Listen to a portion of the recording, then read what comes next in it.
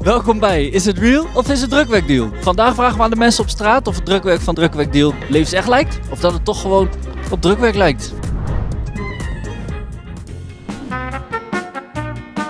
Mag ik u misschien een vraag stellen, aangezien jij eruit ziet als expert? Ah ja, ik ben expert. In wat? Wij zijn van uh, drukwerkdeal.nl en we zijn aan het bewijzen dat ons drukwerk levensecht lijkt. Ziet u die surfplakken daar allemaal? Ja. Zijn dat allemaal echte planken? Oh, dat vraag je me wat hoor. Ja, ik denk zo. Ja, de real? Ja. Allemaal? Ja, toch? Het is moeilijk om te zien. Ik denk het wel, ja. Volgens mij zit er een neppe tussen.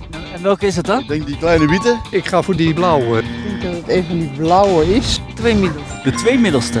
U ziet het niet. Ik denk dat die blauwe echt zijn.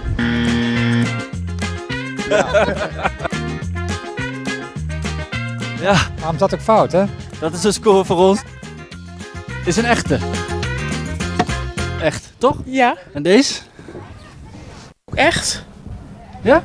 Ja. Thanks voor het kijken. Check ook de andere video's van Is het Real of Is het Drukwerkdeal. En voor levensecht drukwerk ga je natuurlijk naar drukwerkdeal.nl. Is het karton? Ja.